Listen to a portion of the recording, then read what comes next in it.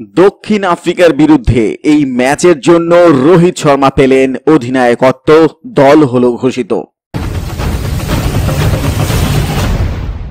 দক্ষিণ আফ্রিকার বিরুদ্ধে টেস্ট সিরিজের জন্য ভারতীয় দলের ঘোষণা হয়ে গিয়েছে। তিন ম্যাচের টেস্ট সিরিজের আগে দক্ষিণ আফ্রিকার বোর্ড প্রেসিডেন্ট ইলেভেনের বিরুদ্ধে তিন দিনের প্র্যাকটিস ম্যাচ খেলবে। এই ম্যাচের জন্য ভারতীয় দলের ঘোষণা করে দিয়েছে এই ম্যাচ ২৬ থেকে আঠাশ সেপ্টেম্বর পর্যন্ত খেলা হবে। রোহিত শর্মাকে এই প্র্যাকটিস ম্যাচের জন্য বোর্ড প্রেসিডেন্ট ইলেভেনের অধিনায়ক করা হয়েছে।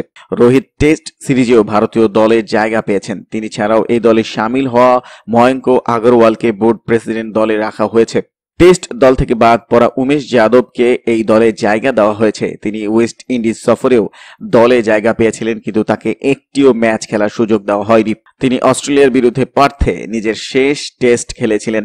তিনি ছাড়াও শার্দুল ঠাকুর, আবেশ খান আর ঈশান পোরেলকেও বোর্ড প্রেসিডেন্ট ইলেভেন দলের রয়েছেন। শার্দুল ভারতের হয়ে গত বছর টেস্টে ডেবিউ করেছিলেন, কিন্তু দ্বিতীয় ওভারেই আহত হয়ে ম্যাচ থেকে ছিটকে যান। ইন্ডিয়া এই দলের হয়ে লাগাতার নিজের উইকেট কিপিং আর ব্যাটিং এর জাদু দেখানো কে এস ভরকে এই দলে জায়গা দেওয়া হয়েছে। তিনি ছাড়াও সিদ্ধেশ ল্যাড, করুণ নায়ার দলের প্রধান ব্যাটসম্যানদের মধ্যে সামিল রয়েছেন। জলদ সাক্সেনা আর ধর্মেন্দ্র সিং জাদেজা দলের প্রধান দুই স্পিনার। এই ম্যাচ থেকে দক্ষিণ আফ্রিকা দল ভারতের পরিবেশে নিজেদের মানিয়ে নিতে চাইবে। তাদের গত ভারত সফরে লজ্জাজনক হারের মুখে পড়তে হয়েছিল। কোনোদিন ভাবিনি এই সম্মান পাবো, বললেন বিরাট। যে মাঠে খেলে তিনি বড় হয়ে উঠেছেন, যে মাঠে খেলে তিনি স্বপ্নের সিঁড়িতে পা রেখেছেন, সেখানে আজ তার নামে নতুন প্যাভিলিয়ন স্ট্যান্ড, যা থেকে আবেগ প্রবণ হয়ে পড়লেন বিরাট কোহলি। বলে উঠলেন, কোনোদিন ভাবিনি এইভাবে সম্মানিত হব। আমার পরিবার, স্ত্রী, ভাই সবাই এখানে আছে। কি বলব, বুঝে উঠতে পারছি না। বৃহস্পতিবার এক অনুষ্ঠানে ফিরোজ শাকোটলা স্টেডিয়ামের নামকরণ হল প্রয়াত অরুণ জেটলির নামে। কেন্দ্রীয় স্বরাষ্ট্রমন্ত্রী অমিত শাহের হাতে যে নতুন স্টেডিয়ামের উদ্বোধন হলো, একই অনুষ্ঠানে কোহলির নামে নামকরণ হলো একটি স্ট্যান্ডের, যা দেখে অনুষ্ঠানে উপস্থিত কপিল দেব বলেন, কোহলির নামে স্ট্যান্ডের নামকরণ হলো দেখে খুব ভালো লাগছে। তিরাশির বিশ্বকাপ জয়ী অধিনায়ক আরও বলেন, এখনও অনেক দূর যেতে হবে কোহলিকে। ওর ক্যারিয়ারের মাঝপথে কোহলি ঠিক কোনো কথা বলা ঠিক নয়। কিন্তু এটুকু বলব, ওর থেকে যা পেয়েছি, তার থেকে কোনো তুলনা হয় না। কখনো ভাবিনি সচিন টেন্ডুলকারের কাছাকাছি কেউ আসতে পারে। আমাদের কাছে সচিন ছিল শেষ কথা। কিন্তু কোহলি খেলাটা অন্য পর্যায়ে নিয়ে গিয়েছে। কোহলি আবার ফিরে গিয়েছেন তার ছোটবেলায়। ভারত অধিনায়ক বলেছিলেন, আঠারো উনিশ বছর আগের ঘটনা।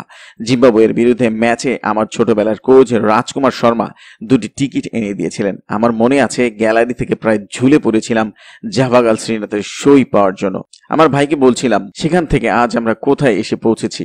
সেই স্টেডিয়ামের একটা প্যাভিলিয়ন আমার নামে রাখা হয়েছে। দেখাটা কি রকম যেন অপার্থিব অনুভূতি, অত্যন্ত সম্মানেরও। যার নামে স্টেডিয়ামের নামকরণ হলো সেই প্রয়াত জেটলি সম্পর্কে কোহলি বলেন, বাবার মৃত্যুর পরে আমার বাড়িতে এসেছিলেন অরুণ জেটলি আমাকে সাহস দিয়েছিলেন। সত্যি, এই গোটা অনুষ্ঠানে একেবারে অন্য রকমের।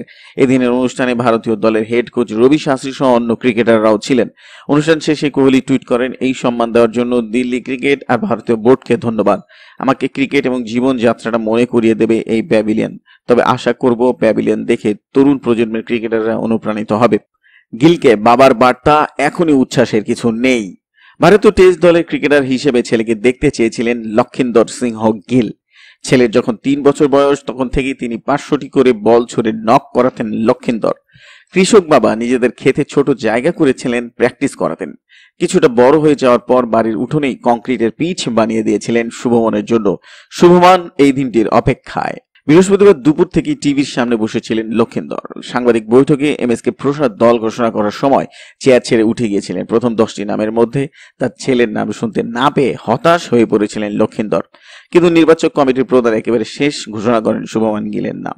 শোনার পরে প্রথমে নিজের কানকে বিশ্বাস করতে পারেনি লক্ষিন্দর। আনন্দ বাজারকে তিনি বলেন, শুরুতে বিশ্বাস করতে পারছিলাম না। স্ন্যাচ চাবে টিভির সামনে থেকে উঠে গিয়েছিলাম। কিন্তু হঠাৎই যেন শুভমনের নামটি শুনতে পাই।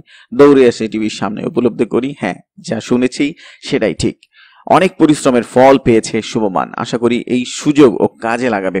টেস্ট দলের সুযোগ পাওয়ার পরেই বাবাকে ফোন করেছিলেন শুভমান। ছেলেকে ফোনে কি বললেন লক্ষিন্দর? আমি সাফ বলে দিয়েছি একেবারে উচ্ছ্বসিত হওয়ার কিছু নেই। ভারতের হয়ে সেঞ্চুরি করার পরে উৎসব করা যাবে। কিন্তু সুযোগ পেয়ে খুশি হওয়ার চেয়ে বেশি কিছু করার নেই। সঙ্গে যোগ করেন ছোটবেলা থেকে যেহেতু ওকে কোচিং করেছি, তাই জানি ও কখনো উচ্ছ্বাস ধরে রাখতে পারে না। আবেগপ্রবণ হয়ে পড়ে, কিন্তু আন্তর্জাতিক ক্রিকেটে আবেগ ধরে রাখাই আসল। শুভমনের দলে জায়গা পাওয়ার খবরে প্রতিবেশীরা উৎসব শুরু করেন।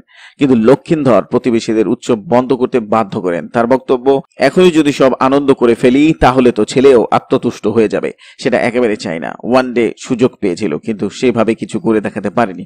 আমি চাই না টেস্টে সেই পরিস্থিতি তৈরি হোক। শুভমান যদিও টুইট করেছেন, সাদা হোক অথবা নীল জার্সি দেশের হয়ে সুযোগ পাওয়া সব সময়ের সম্মানের ওয়েস্ট ইন্ডিজ সফরে থেকে আসার পরেই বাবার কোচিং এ প্র্যাকটিস করেন শুভমান। লক্ষিন্দর আশা করেছিলেন টেস্ট দলে হয়তো সুযোগ আসতে পারে। কাগিসো রাবাডা ভার্নন ফিল্যান্ডারদের সামলানোর জন্য কি করেছিলেন তখন? লক্ষিন্দর বলেছিলেন, প্লাস্টিক বল ছুঁড়ে ব্যাট করিয়েছি, প্লাস্টিক বল সুইং এর জন্য বাউন্সও করে। রাবাদার হাতে বাউন্স আছে। ফিল্যান্ডারের বিখ্যাত সুইং এর জন্য তাদের বিরুদ্ধে মানিয়ে নিতে এই অনুশীলন করিয়েছিলাম। বন্ধুরা, আমাদের এই প্রতিবেদনটি আপনাদের কেমন লাগল তা কমেন্টস করে জানান। ভিডিওটি ভালো লাগলে লাইক দিন, বন্ধুদের সাথে শেয়ার করে মাস ক্রিকেট ইউটিউব চ্যানেলের সঙ্গেই থাকুন। ধন্যবাদ।